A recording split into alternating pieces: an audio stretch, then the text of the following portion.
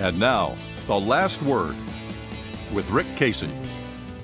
It's been 10 years since we buried Maury Maverick Jr., one of San Antonio's great characters. As a lawyer, he represented the most unpopular of people.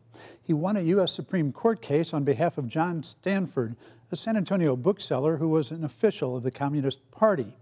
He represented, with help from his young protege, Gerry Goldstein, famous atheist Madalyn Murray O'Hair. Goldstein says that when the two of them went to meet Ms. O'Hair, she greeted them with, Thank God for the ACLU. As a state legislator, Maury opposed racist Jim Crow laws in the 50s and other attacks on civil liberties.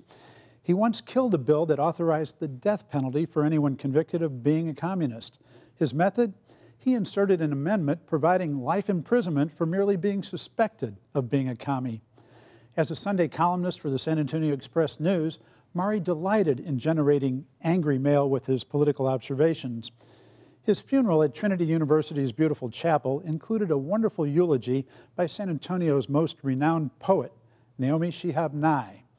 He recruited her to do the task as only he could, with a phone call years before his death.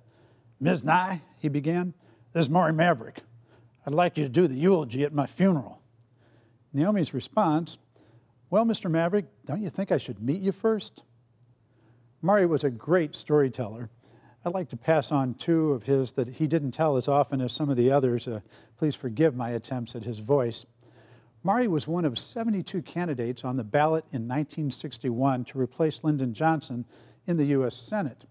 LBJ had moved up to the vice presidency. Gearing up for his race, Maverick said he turned to Texas's other senator, Ralph Yarborough, for advice. I said, Ralph, what do I say to them crackers in East Texas when they ask my position on race?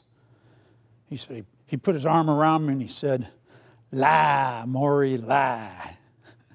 Maury was, he was the great grandson of Sam Maverick, a land speculator and signer of the Texas Declaration of Independence, whose refusal to brand his cattle led to today's use of the term maverick. He was also the son of Maury Maverick Sr., a New Deal congressman and one of San Antonio's greatest mayors. Maury Sr. also gave us a word. When he was in Congress, he coined gobbledygook to describe bureaucratic English. Maury Jr. told a lot of stories about his father. Here's my favorite. My dad wasn't much for religion. He, I think he was a pantheist, but he loved to go to different church services. He took me one time to a friends meeting, Quaker meeting. You know, everybody sits there silent, and then a, a leader gets up and asks people to share their meditations. And one old boy gets up and says he's been thinking about how we need to love everybody. Another says he's been contemplating about how we need to pray for world peace. My daddy, he shifted his, I think he had to go to the bathroom. The leader says, Mr. Mayor, we'd be pleased to hear your meditations. And my father, no, no. The leader says, Mr. Mayor, we'd be honored if you would share your reflections. My father again says, no. Uh, But the leader kept on, and finally my father, he stood up and he said, well, to tell you God's honest truth, I've been sitting here thinking about how somebody ought to kill that son of a bitch, Joe McCarthy. Maury, it seems, came by his politics honestly. And that's it for Texas Week. See you next time.